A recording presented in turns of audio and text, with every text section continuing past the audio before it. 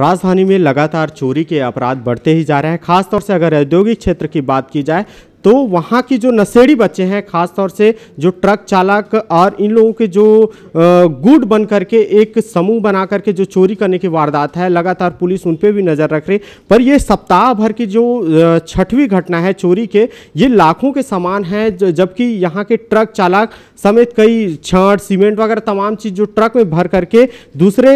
ज़िले से यहाँ रायपुर लाए जाते थे। रायपुर में औद्योगिक क्षेत्र के जैसे समीप पहुँचते थे, वहाँ घेर करके इन को लूट भी करने की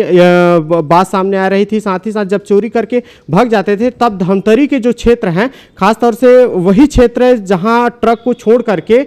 माल को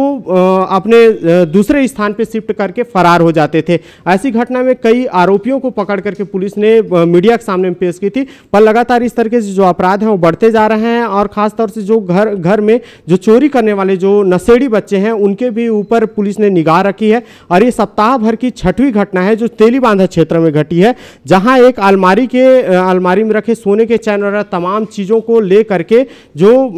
आसपास के जो चोरी करने वाले जो बच्चे हैं, उन्हीं के इशारे पे किया जा रहा है, ऐसा भी बताया जा रहा है। पर लगातार जो औद्योगिक क्षेत्र है, उसमें चोरी की जैसी घटनाएँ घटती है, इसमें लगातार पुलिस पूछताछ तो कर रही है, बट,